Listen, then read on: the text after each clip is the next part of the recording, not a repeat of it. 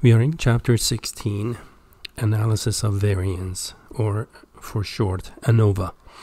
Coming out of chapter 10, we looked at how we can compare two population means. That's what we did in chapter 10. So we had two means, mu1, mu2, and we were able to compare them. Now, the way we compare two population means in chapter 10 was uh, by comparing the averages right the sample averages and we decided whether the difference between the sample means were positive negative or simply zero. Well in chapter 16 we want to do the same thing except the difference is that we have more than two population means actually in this chapter. So we could be comparing Still, we could compare two population means even using the method of ANOVA. I will show you how that is done later on. In fact, I have an example in our uh, section 16.3, I believe. So two more lectures from here, we will see how that can be done. So what we did in chapter 10, in fact, can be done in chapter 16 using analysis of variance. But before we actually get to see how the ANOVA works, in section 16.1, we're going to talk about the F distribution here. And by the way, there are five sections in chapter 16. We're only going to look at the first three sections. Sections 4 and 5 are optional, and we're going to omit those two sections. So in section 16.1, first let's talk about this F distribution. I think this is a relatively easy section and we're going to rely on StatCrunch by the way. In fact, uh, throughout the entire chapter 16, we're going to rely on StatCrunch. We're not going to do anything by hand. So, this F distribution, the, the word F here stands for Fisher, and there it is right up here, name, named in honor of Sir Ronald Fisher. And the timeline or the distribution was actually this uh, continuous probability distribution was discovered was early 1900 okay so this will be the third of our uh, series of continuous probability distributions.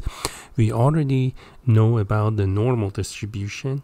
We know about the t distribution and now this is the third of our distribution namely the F distribution. Now, an F distribution is a continuous distribution just like a normal or a T. That means this curve is a continuous curve. There are no uh, breaks, holes, jumps, or gaps in the curve. Okay, now it it does look skewed. In fact, here you're looking at two different F distributions um, that are both skewed to the right. Now, an F distribution is actually uh, known by its degrees of freedom, uh, just like the T distribution was. Remember, the T distribution also had the degree of freedom. But the F distribution actually has two separate degrees of freedom, which commonly are called the numerator degrees of freedom and the denominator degrees of freedom. Now, the reason they're called numerator denominator in section 16.3, you will see the the logic or the reasoning for that. So now some of the properties of this F distribution, you can see these properties. Again, because this is a probability distribution, the area under the curve represents probabilities, just like the T and the normal distribution did. And the area uh, the, over the entire area under the curve is 1, meaning 100% and the distribution is asymptotic. That means it just the right tail of it extends indefinitely forever.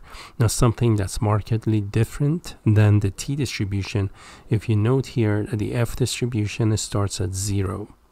So unlike the t and the z or the standard normal distribution or any normal distribution, those two distributions were symmetric. The f distribution is not symmetric. So we cannot use symmetries that we did with T and F. Uh, I'm sorry, with the T and the uh, normal distribution. Okay, now let's see how we're gonna actually find area under this curve. And all we are interested with the F distribution, we want to find the area to the right. That's all we want to do here. We're not going to do anything else with this probability distribution.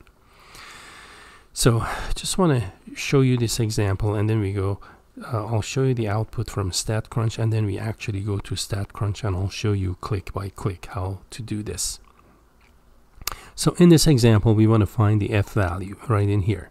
So this is an F curve, an F distribution with degrees of freedom in the numerator 4, denominator is 12. And we want to find the F so that the area to the right is 0.05. Okay. Now, there is a table in the back of the book, table 8. If you're interested, you can go and figure it out on your own. But again, I'm not interested in that table. It's not a complete table anyhow. So we're going to rely on StatCrunch.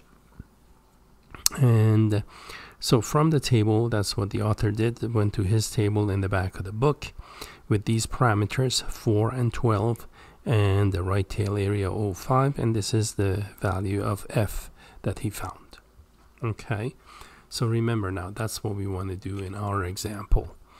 So this is an um, f with 4 and 12 degrees of freedom. Now let me show you the output from StatCrunch. And there you go. You get exactly the same answer that the author has. Remember he had 3.26 which is the rounded version of this one. So in StatCrunch, this is what the F curve looks like.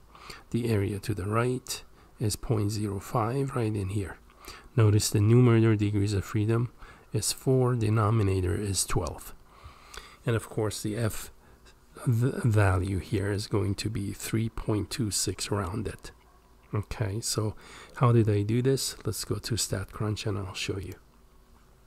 So while you're in StatCrunch, we get, we're going to go to Stat, Calculators, and go over right there. There's the F distribution. So just click on letter F, and you will see this distribution.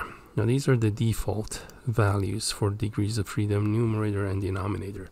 So we're going to change those. We're going to put our own 4 and 12 in here and we want the area to the right so I'm going to go greater than or equal and of course the tail area was 0.05 okay and then hit compute and there is the value 3.26 that was in the table in the back of the author's textbook and that's how I got the output in my notebook so let me go back to here now let's take a look at an exercise here from this section. So in this section, we're going to do number 10. You can try the others if you like to. So in exercise number 10, it reads for an F curve with degrees of freedom 6 comma 10. That's 6 for numerator, 10 for denominator. So be careful. If you switch those when you put them into StatCrunch, you're going to get a different answer and the wrong answer. So we're going to have to input them in that order in StatCrunch with 6 comma 10. Okay. And we want the right tail area to be 5%. We want it to be 1% and 025%, right? 5, 01, 025. So here are the numbers actually, just to show you. We'll run them, of course, here in a minute, and you will see how that's done, but just so you have the numbers here. So it's 6 degrees of freedom for the numerator, 10 for the denominator, right tail 05, and these are the numbers that came out of StatCrunch. So once I put in 05, that's what I got. Then I cleared and I put 025. This is what the StatCrunch gave me. And finally, for 0.01, I typed in 0.01, and this is the answer to the exercise. So what do you see here? These are the answer to A, I believe this was B, that's the answer to part B, and this is the answer to part C. So I'm going to go back to StatCrunch, and in StatCrunch, remember the degrees of freedom is different now. It's 6, and the denominator is 10. And then we want the area to the right to be 0.05. Boom. And there you go. That's the 3.217 and then you just change that one to whatever you want 025 I believe that was another one there's 025 and then 01 was this one And there you have it. So that's how I got those numbers. Okay. And I believe that's all in this section. Yes. So again, it's pretty brief section. This was just to show you what that F distribution looks like. And the reason we needed to talk about the F distribution is because when we do analysis of variance in our ANOVA procedure, um, part of that analysis involves the F distribution. So it is for that reason. But we are done with this section and we are done with this lecture as well.